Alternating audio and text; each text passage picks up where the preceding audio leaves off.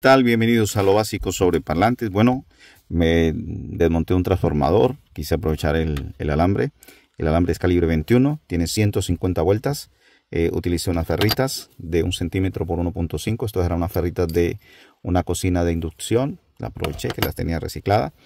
¿Y qué sucede? Que eh, hacen una pregunta sobre un parlante que quiere quitarle algo de medios porque resaltan demasiado los medios. A veces la frecuencia media, si no está bien filtrada, chilla, fastidioso, es molesto.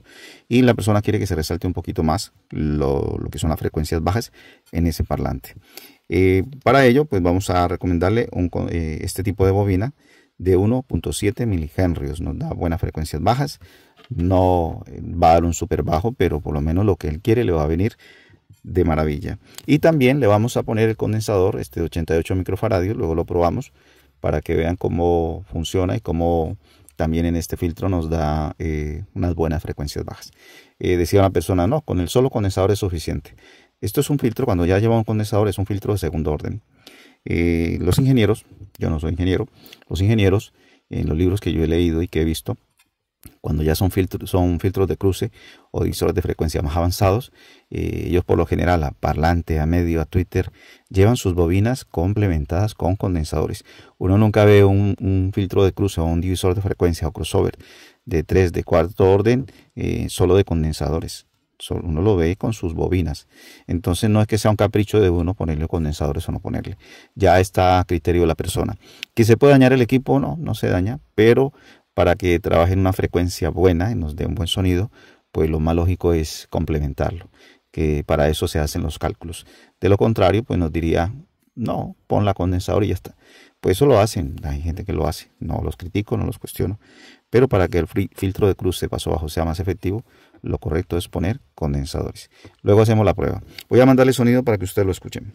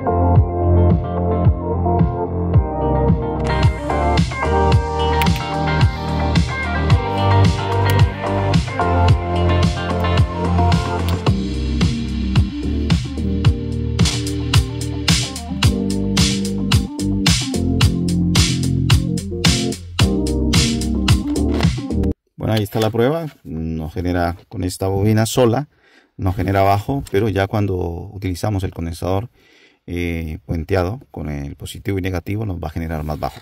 Lo que hay que tener en cuenta es esto para un equipo pequeño, no es para un equipo potente. Si queremos ponerlo en un equipo más potente, lo más recomendable es no ponerlo con ferritas, que sea núcleo de aire y el alambre va a, ser, va a tener que llevar más cantidad de alambre y tiene que ser grueso para, tener buena potencia. Lo mismo los condensadores.